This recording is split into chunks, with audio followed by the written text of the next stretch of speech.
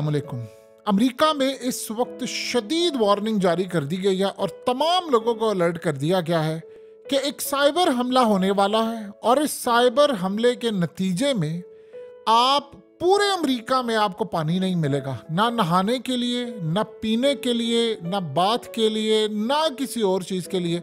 और ये शायद अमेरिका की तारीख का सबसे बड़ा हमला होने जा रहा है और इसको वो कह रहे हैं ईएमपी इलेक्ट्रोमैग्नेटिक पल्स वेपन हमला होने जा रहा है। इस दफ़ा अमेरिका के सिक्योरिटी इदारों ने वार्निंग जारी की है एडवांस में, क्योंकि हालिया जो हमला हुआ था अमेरिका में जिसमें मोबाइल सिग्नल्स चले गए थे, उसके बाद जो अब हमला हुआ है, उसने अमेरिका को उधेड़ कर रख देना है। इस हमले से एक महीना पहले अमेरिका की कांग्रेस में सेनेटर्स जो हैं वो वार्निंग जारी कर चुके हैं कि अमेरिका पर अब जो हमला होने वाला है, वो पूरे का पूरा अमेरिका ब्लैकआउट हो जाएगा। इलेक्ट्रिसिटी चली जाएगी, पूरा अमेरिका अंधेरे में डूब जाएगा। ना इंटरनेट होगा, ना टीवी होगा, ना आपके मोबाइल फ़ोन चार्ज रहेंगे, क्योंकि सारे का सारा निज़ाम धर्म भरम हो सकता है ब्लैकआउट हो जाएगा, अंधेरे में डूब जाएगा, और अब उन्होंने साथ कहा है कि पानी पर हमला होने वाला है साइबर हमला। और नाम उन्होंने एडवांस में लगा दिया है कि ईरान और चाइना। देखिए, यह दो सूरत हाल बड़ी खतरनाक है कि चाइना और ईरान ये किसी चीज़ ने हमला जब करना होता है तो वो बता कर नहीं करते कि ये होने वाला है या फलाना इस तरह। साइबर हमला एक ऐसा हमला होता है कि जिसमें आपको पता ही नहीं चलता कि कब हमला हो जाए। यानी आप ये सोचें कि इंडिया में जब ब्लैकआउट हुआ था और वहाँ पर मुंबई में हमला हुआ था तो अमेरिका ने बाद में रिपोर्ट जारी करते हुए कहा था कि मालवेयर यानी चाइना उनके सिस्टम में घुसा हुआ है और वो किसी भी वक्त हमला कर सकता है और उन्होंने हमला किया। और ये असल में जो बात है, अगर अमेरिका की इस बात को हम सच मान ले तो अमेरिका के पास रोकने के लिए कुछ नहीं है। तो अमेरिका अपनी आवाम को खबरदार ये कर रहा है कि भाई हमला होने वाला है। और हम आपको बस वार्निंग जारी करें, हम पूरी कोशिश करें हमले को रोकने की, लेकिन हम रोक ना पाए तो आपको पता हो आपने करना क्या है।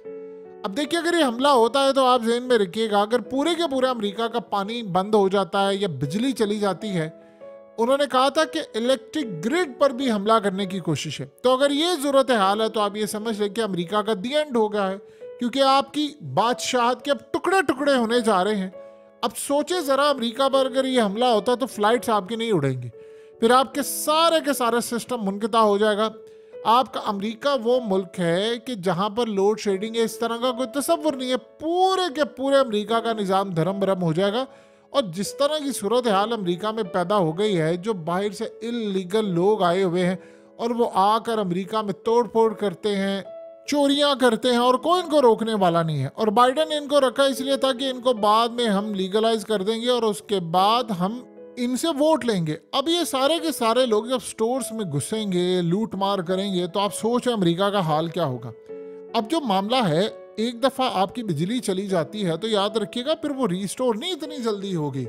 उसका नुकसान जो होगा, पता नहीं, हो सकता दस पंद्रह दिन लग जाए, हो सकता है एक हफ़्ता लग जाए फेजेस में रिस्टोर हो, पानी का आप सोचो बहरान हो तो ये क्या होगा? ये तो आप समझ लें, एक बड़ी जंग है।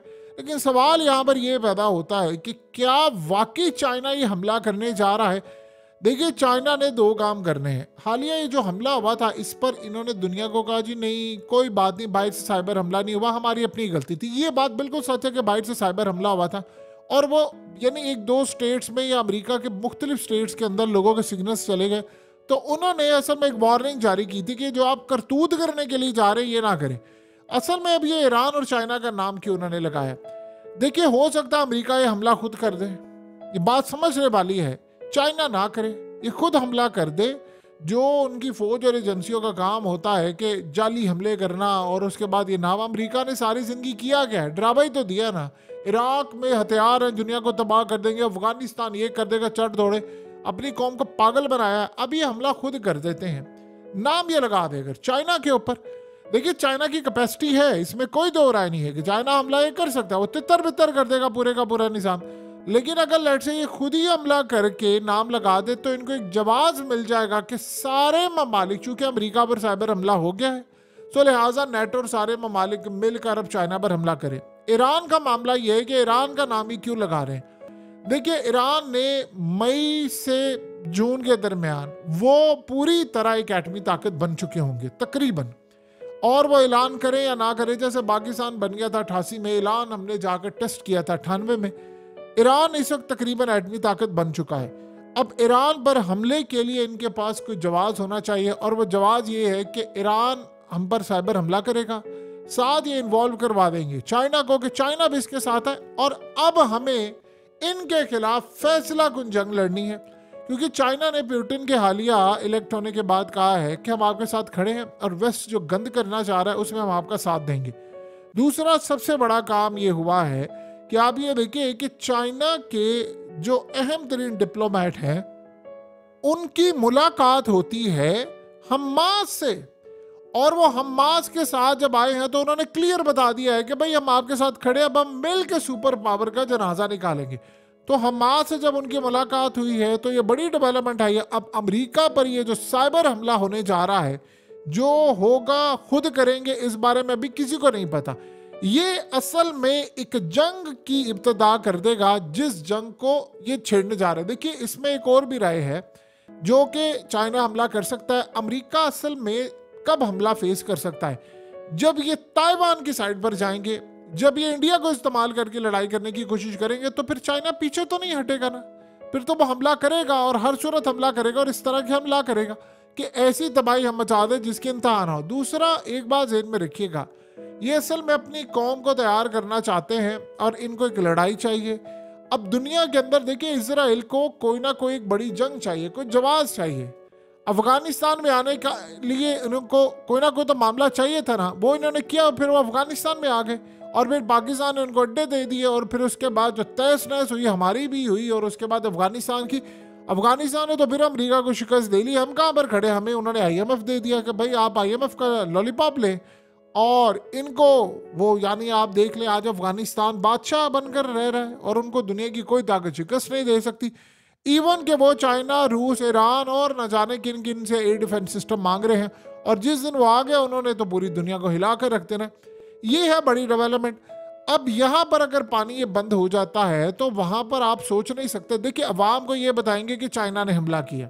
जब पानी बंद हो जाएगा, बिजली बंद हो जाएगी, फिर उस वक्त किसी को ये समझ नहीं आएगी कि हुआ क्या है क्या वो बस ये कहेंगे, भाई, हमें चाहिए रीस्टोर करें। उस चक्कर में वो कहेंगे कि, आप एक काम करें, आप चाइना को कि हम न्यूक्लियर हमला करने जा रहे हैं।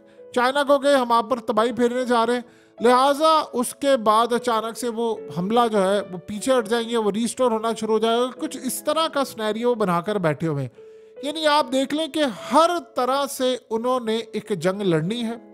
ये जंग वो तैयारी कर चुके हैं।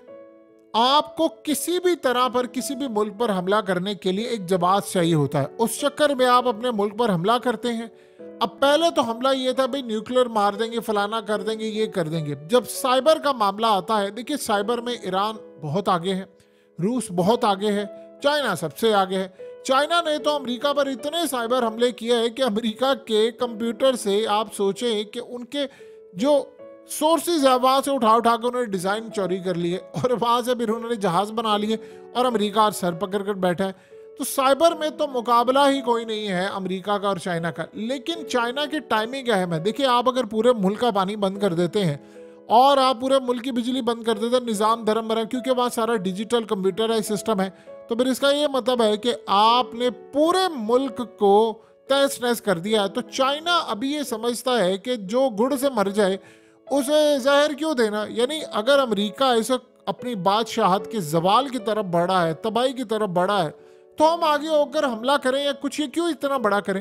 यानी हालिया ये जो हमला हुआ था, उसमें तो डेफिनेटली बात है अमेरिका पर चार पाँच साइबर हमले हुए। जैसे उनका एक एफ़ थर्टी फाइव तबाह हो गया, फिर अमेरिका के अंदर एक ऐसा हमला हुआ, जिसमें आप सोच लें कि अमेरिका का निज़ाम धर्म भरम करने के लिए उन्होंने इंटरनेट के सिग्नल चले गए।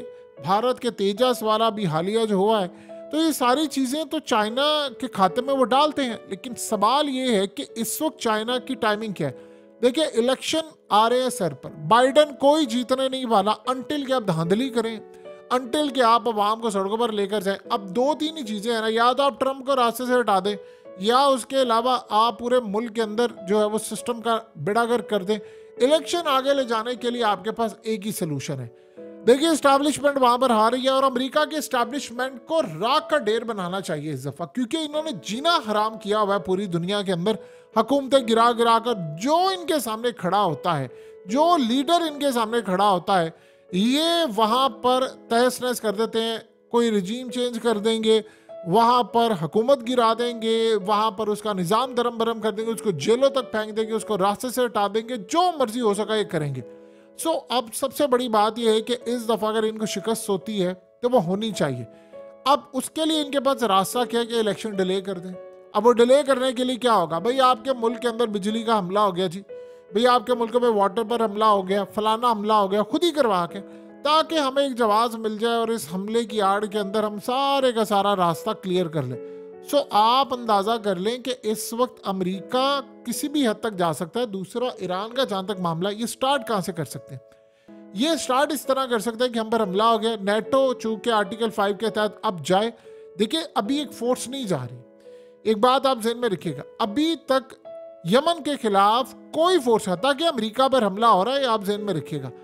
तो असल में हुआ ये है कि आपको फोर्स ले जाने के लिए आर्टिकल फाइव नाफिज करने के लिए आपकी सरजमीन पर हमला होना चाहिए। ऐसा नहीं है कि समंदरों में अमेरिका पर हमला हो रहा है नेटो चली जाए। अगर अमेरिका की सरजमीन पर हमला होता, चाहे वो साइबर हमला कुछ हो तो फिर जाते हैं। अब जब ये वो इतने बड़े पैमाने पर हमला करवा लेंगे या खुद कर लेंगे या जो भी कर लेंगे तो फिर वो कहेंगे कि अच्छा अब नेटो आ जाए आर्टिकल फाइव के तहत, हम सारे जाकर समंदरों में ईरान पर हमला करेंगे। और असल में चाइना पर हमला करने से पहले वो ये बता रहे हैं कि ईरान पर हम हमला कर दें, ताकि हम ईरान को तबाह कर सकें। और उसके बाद एक जंग छेड़ दें। उनको पता है कि हौसियों से अब लड़ाई हो नहीं रही। देखिए हौसियों से लड़ाई के लिए उन्होंने बड़ी कोशिश की। कोई मुल्क इनका साथ देने को तैयार नहीं है। और वो धड़ाधड़ इनके शिप्स तबाह करे। कल भी उन्होंने शिप तबाह किया, परसों भी किया। और रमज़ान में भी इनको तोहफे दे रहे हैं कि भाई, ईद के भी तोहफे लो, रमज़ान का भी तोहफा लो, सारे तोहफे लो। तो इनके पास बचत का रास्ता पीछे कोई रहा नहीं है। तो उन्होंने प्लान ये किया है कि हम अगर ईरान को रोक देंगे तो यमन खुद ही रुक जाएगा और ईरान को रोकने के लिए उनके पास दो वजूहत हैं। देखिए, पहले ये है कि भाई कोई साइबर हमला कर दे, एक दफ़ा वो एटमी ताकत बन गया और उसने वहाँ पर टेस्ट कर लिया। तो ज़ाहिर सी बात है, जब आप फिर ईरान पर हमला करेंगे तो वो कहेगा, मैं तो एटमी हमला करने जा रहा हूँ। रही बात पाबंदियों की तो ईरान पर ऑलरेडी इतनी पाबंदियाँ लग चुकी हैं तो दुनिया को परवाह ही नहीं है किसी बात की कि यार, ये क्या मामला वो ग्रे मार्केट में बेच देता सोचें, अभी वो तकरीबन 50 से 60 70 फ़ीसद तेल सस्ता देता है।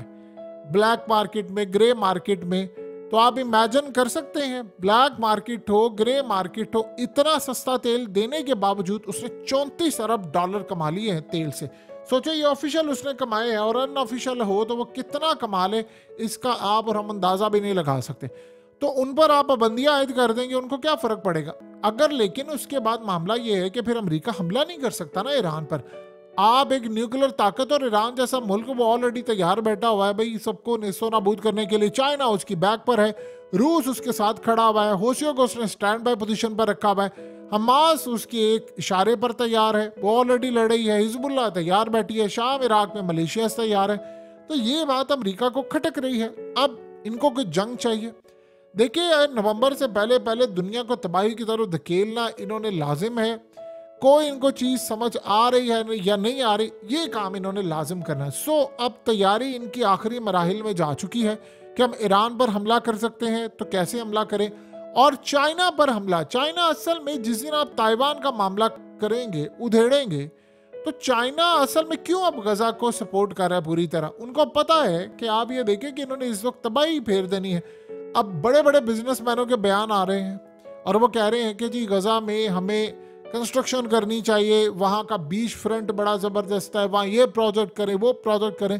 तो चाइना ने हमास के लीडर से मुलाकात करके इसराइल को अमेरिका को पैगाम दे दिया है। आप जिसके साथ खड़े होंगे, हम उसके ऑपोजिट ज़रूर खड़े होंगे और अब आपकी बदमाशी नहीं चलने देंगे।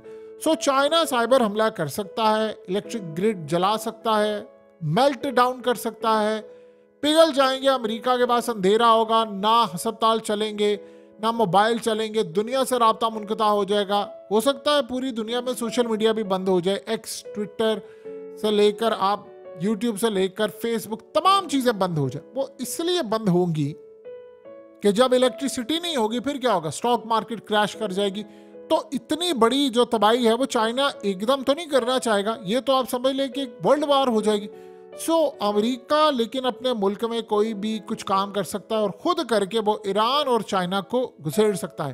सो लिहाजा तैयार रहे नवंबर आने वाली है और नवंबर की तारीख से पहले पहले बाइडन जैसे एक यानी बूढ़े को सठियाया हुआ बुढ़ा जिसे हम कह सकते हैं जो हर मुल्क में जाकर उंगलियाँ दे देकर इसने हुकूमतें गिरानी होती हैं। इस्टेब्लिशमेंट का एक टाउट है।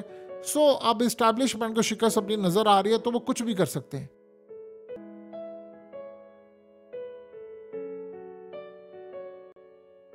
हकीकत टीवी को सब्सक्राइब करना मत भूलें, वीडियो को लाइक करें, शेयर करें और कमेंट सेक्शन में अपनी राय का इजहार ज़रूर करें।